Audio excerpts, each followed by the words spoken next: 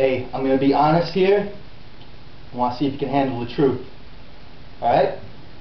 You meat eaters. You're no better than a terrorist, rapist, child molester, slave owner, hitman, or serial killer. That's the truth. And you probably know it if you found this video. If not, I don't blame you.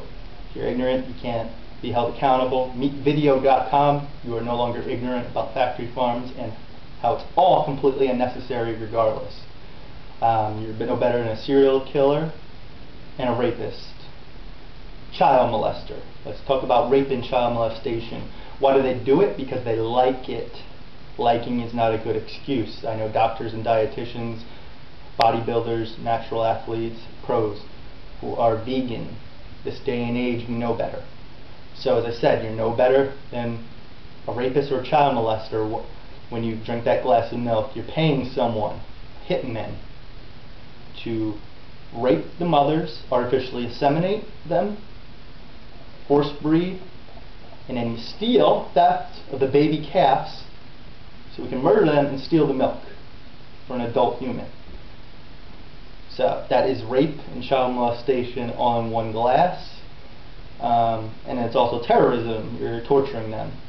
And uh, don't give me any of your excuses. Uh, you know better. If you found this video, you know better. I've heard them all over the last 10, year, 10 to 12 years. None have been true completely.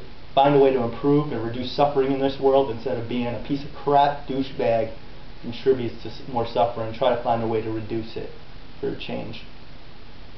Uh, serial killing. That one's self-explanatory. Terrorism. Yes, you're a terrorist. And I don't want to hear any of that nonsense. This is not very similar to the Holocaust. Very similar. Um, more similar similarities than dissimilarities. So what else we have? Um, slave owners. Also, you know better than Michael Vick.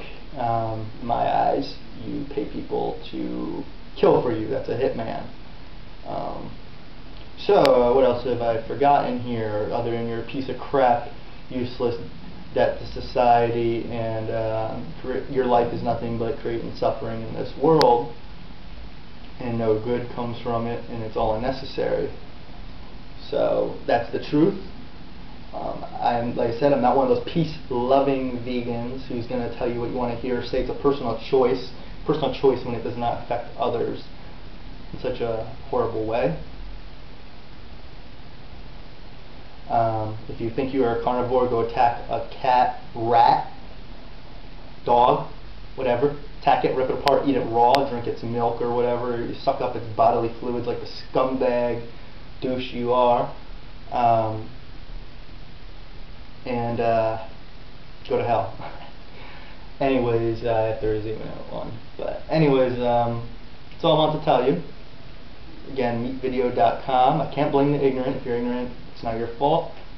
Vegans are lazy, a lot of them. They should be leafleting colleges, promoting online. I had about 100 MySpace pages with a million friends. I um, donated uh, tens of thousands of dollars over the year, over the years, served in the Peace Corps helping human charities, um, but help more humans actually via health, hunger, and environment, and other mammals. Now, as a vegan and promoting that, help more people actually.